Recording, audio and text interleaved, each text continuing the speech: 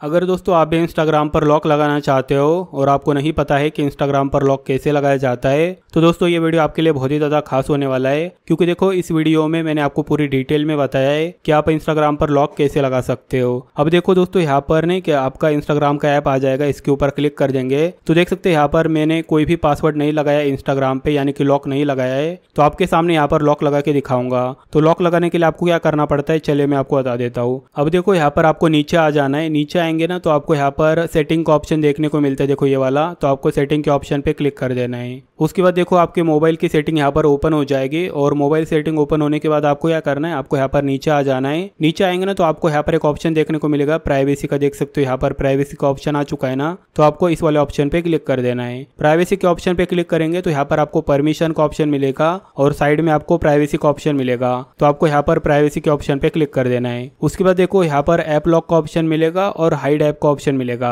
अब यहाँ पर हमें तो ऐप को लॉक लगाना है इंस्टाग्राम के तो क्या करेंगे? ऐप लॉक के ऊपर क्लिक कर देंगे। ऐप लॉक के ऊपर क्लिक करेंगे तो थोड़ी सी लोडिंग ले गए। और उसके बाद देखो यहाँ पर आपके मोबाइल में जितने भी ऐप होते हैं ना, वो सारे ऐप यहाँ पर आ जाएँगे। जैसे मेरे मोबाइल के सारे ऐप यहाँ पर आ चुके हैं। तो आपको क्या करना है? ऊपर आ जाना है और यहाँ पर देखो आपको एक ऑप्शन देखने को मिलेगा ऐप लॉक का। तो इसके आगे वाला ये जो बटन है ना, इसके ऊपर क्लिक करना है। उसके बाद देखो यहाँ पर नीचे आपको सेटिंग का ऑप्शन देखने को मिलता है। इसके ऊपर आपको क्लिक कर देना है और ये क्या बोलेगा आपको? सेट प्राइवेसी पासवर्ड तो दोस्तों आपको यहाँ पर एक पासवर्ड सेट कर लेना है, ठीक है? तो मैं यहाँ पर एक पासवर्ड डाल देता हूँ। उसके बाद वेरीफाई न्यू पासवर्ड बोलेगा। तो जो पासवर्ड डाला था ना, वही पासवर्ड रिपीट कर देना है आपको भी। और पासवर्ड डालने के बाद देखो यहाँ पर नहीं कि एक नाम डालने को बोल रहा है। तो ये नाम बहुत ही ज़्यादा इंपॉर्टेंट होता है क्योंकि आप जब पासवर्ड भूल जाएँगे ना तो यही नाम से पासवर्ड रिकवर कर पाओगे आप। तो पासवर्ड का जो नाम डाला है ना आपने, ये नाम आपको ध्यान में रखना है। उसके बाद देखो ऊपर आपको चेक मार्क ऑप्शन मिलता है, इसके ऊपर आपको क्लिक कर देना है। उसके बाद देखो यहाँ पर हमारा पासवर्ड तो सेट हो चुका है, अभी हमें इंस्टाग्राम पर लॉक लगाना है। कैसे लगाएँगे? यहाँ पर आपको नीचे आ जाना है और नीचे आने के बाद नहीं कि दोस्तों आपको यहाँ पर अपना इंस्टाग्राम का ऐप खोजना है। देख सकते हैं यहाँ पर इंस्टाग्राम का ऐप आ चुका है। इसके आगे ये जो बटन है ना, इसके ऊपर क्लिक कर देना है और उसके बाद देखो यहाँ पर लॉक का ऑप्शन है, इस पर आएँगे। तो यहाँ पर हमें बोल रहा है इंस्टाग्राम पे आपने लॉक लगाया है, ठीक है? तो आपको क्या करना है बैक आ जाना है पूरी तरह से। उसके बाद क्या करना है, आपको अपना इंस्टाग्राम का ऐप है ना, इसके ऊपर क्लिक करना है। और ये क्या बोल रहा है एंटर प्राइवेसी पासवर्ड तो पासवर्ड क्या रखा था हमने, वही पासवर्ड आपको यहाँ पर डाल देना है। और पासवर्ड डालने के बाद हमारा लॉक यहाँ पर ओपन हो चुका है। तो दोस्तों, इस तरह से आप इंस्टाग्राम पर पासवर्ड लगा सकते हो।